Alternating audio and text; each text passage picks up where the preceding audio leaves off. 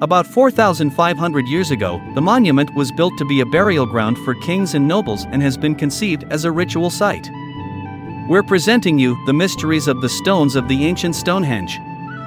Stonehenge is located in the Salisbury Plain region, near Amesbury in Wiltshire. It is surrounded by a 3 kilometer long stone circle known as the Great Western Stone Circle. Each stone weighs around 25 tons and is made from blue stone found in Wales. It took about a thousand years to build this architectural monument. The fact that the sun rises over the heelstone in summer solstice and sets over it in winter solstice shows that it was a prehistoric temple oriented to the sun's motions. Others believe it was an astronomical observatory. Stonehenge was likely used as a calendar by ancient people.